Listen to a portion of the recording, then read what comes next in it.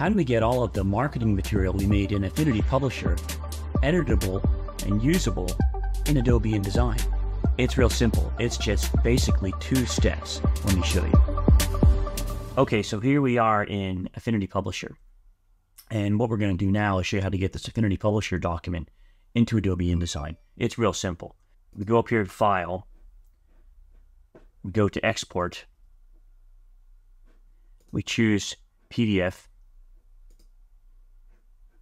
we choose make sure it's a PDF for print, or in any event that it's high quality um, PDF, right?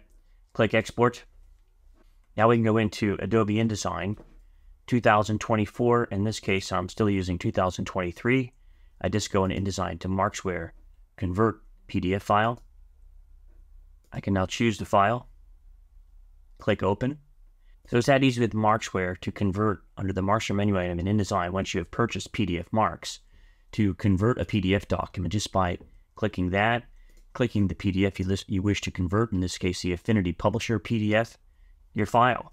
Now, right in Adobe InDesign, which was just over here in Affinity Publisher, is now right over here in Adobe InDesign. You go in there and edit and took out Word uh, support. So we just want to adjust the facts. We want to swap out,